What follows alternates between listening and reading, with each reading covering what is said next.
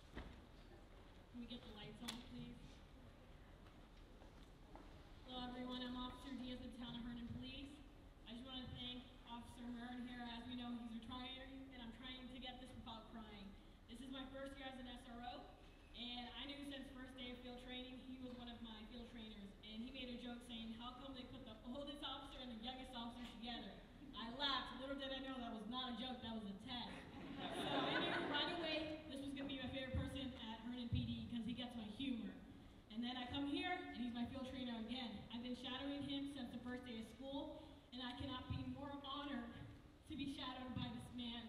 So I would like for all of us to give him a round of applause and we can give him a standing ovation.